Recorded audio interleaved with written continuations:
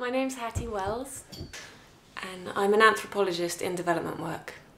But I'm also, I have been involved in Ibogaine therapy. In terms of the Ibogaine therapy work, my qualifications come from a background in addiction myself, so my own personal experience of addiction, and also um, lots of work in shamanism and shamanic counselling, and then a training in holotropic breath work. Um, and psychoth- transpersonal psychotherapy, which never actually continued its course though, and then a foundation in herbalism and an interest in medicinal plants.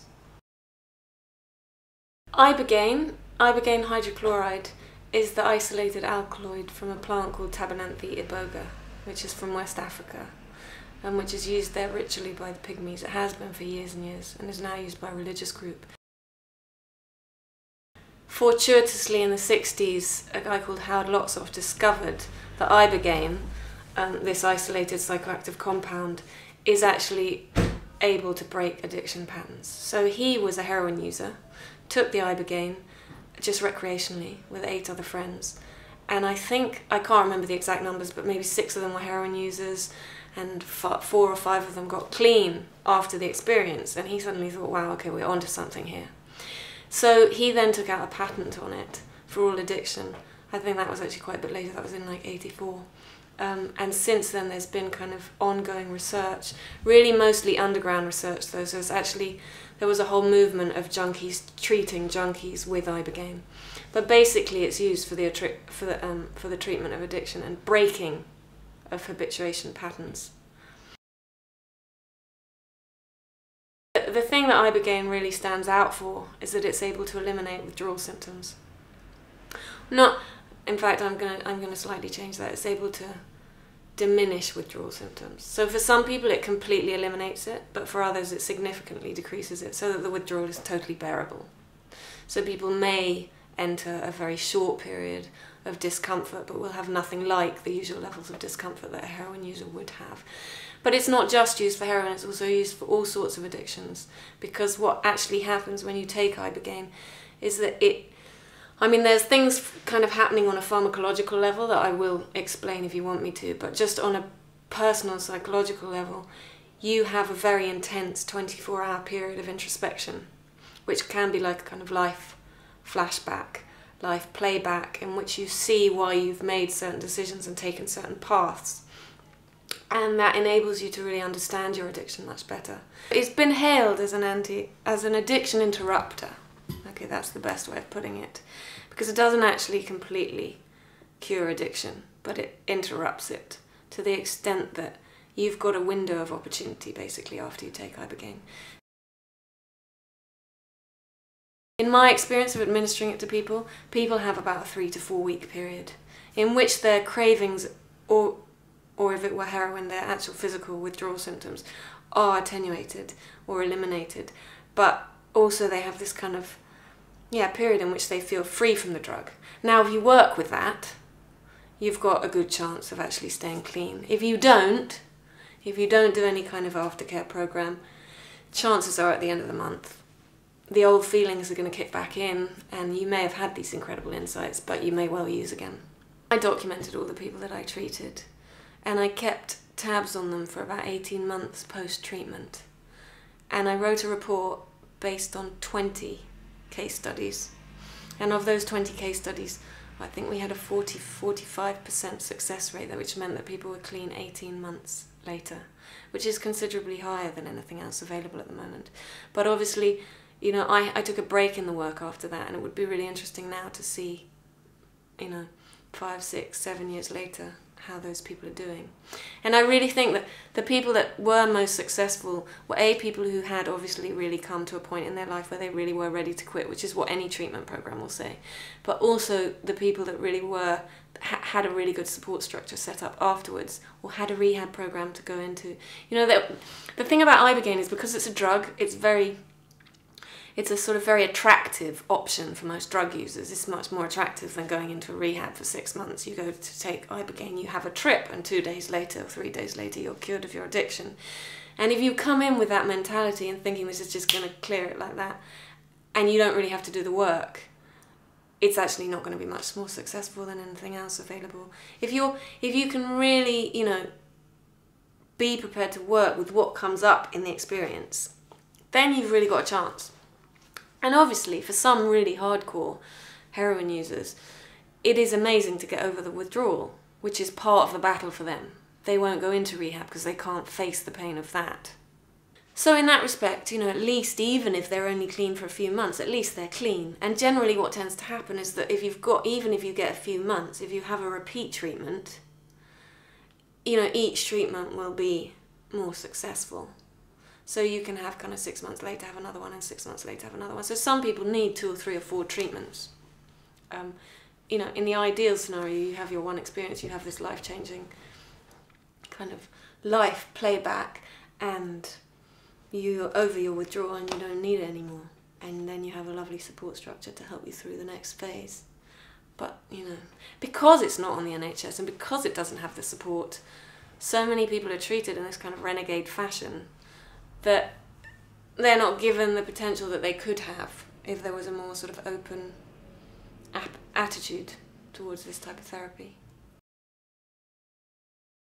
It's uh, in the state of ibogaine in Britain is that it's an it's a it's legal, but it's an unlicensed medication, and I work with a doctor, so um, principally because there are some dangers of working with ibogaine that I think I personally think that they they the treatment should be medically supervised. I think it's somewhat irresponsible for people to just you know do it in a room on a, in a kind of which is what's happening. There's a lot of underground treatment providers that are former addicts that have now become, you know, that maybe got clean from ibogaine that are now treating other people, and they shack up in a room somewhere, maybe in a hotel somewhere, and give them the ibogaine, and then take them through the experience, and then the person goes. But you see, if anything were to happen in that situation, if you're not medically trained, you're not really able to deal with it.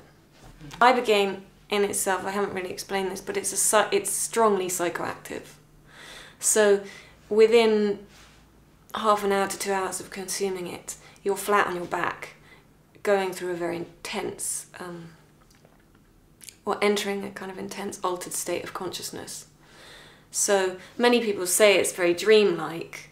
Um, it's not kind of delusional in the sense that you know who you are and you know where you are and you can get up. Well, you you can't actually really get up, but you can you can place yourself. Um, but it's physically incapacitating, so you get what's called ataxia. You can't you can't really move, and where your your sense of your spatial awareness is seriously distorted. So if you tried to put your foot on the floor, you're gonna not hit the right spot basically and because of that and because of the psychoactive nature of it it's quite it's considered quite a radical treatment and quite difficult to contain and you know, National Health Services certainly aren't used to administering anything like that. And no one's really behind, you know, the, the potential kind of therapeutic use of psychoactive drugs, psychedelic drugs, I should say, because there's lots of psychoactive licensed drugs. But anything mind altering in that way that you might consider a trip, so to speak, people just are unwilling to get behind. Plus, there are you know, there are some sort of dangers with it. I don't actually think nearly as many dangers as, as with most licensed medications. But there are potential problems um, with people with heart problems or liver problems. You couldn't really take it for fun. In low doses it's a stimulant, but in high doses it's so incapacitating and it's such an intense experience, you, you certainly you wouldn't be taking it for fun. It's kind of like a, a wake, you know, it's really a wake up call. And if there's anything in your life that you don't want to look at, it's going to show it to you. Which is generally not the kind of thing that people do for fun. It's not used regularly. In in Africa, it's used um, it's used as their sacrament. So much like we would go to church and, you know, partake of the what do you call it? Communion. Partake of communion. Um, they will go to church and eat iboga root. Now, they'll do that. They'll do that and they'll eat small amounts, which are stimulating doses. But when they go through their rite of passage, they'll eat a large dose, which actually takes them to the point of death. They call it the small death. And in that, you'll have a mother and father within the ritual, and they'll take you through the whole sort of three to five day process and stay with you throughout that. But that only happens once in your life, or twice if you're going to become a, a priest in this sort of area. Religion that uses it now is called the Bwiti, and they're sort of scattered across those three countries, and they will use it differently in each country. So sometimes the rite of passage may be 16 or 17, sometimes it might be 23, or sometimes it's a it's a kind of um, it's somebody that finds the religion at 30 and your entrance into that religion will happen at whatever point you do that. I'm now working with a doctor, so he's the prime caregiver. I'm the assistant. Um, he would have someone would come for whatever kind of addiction.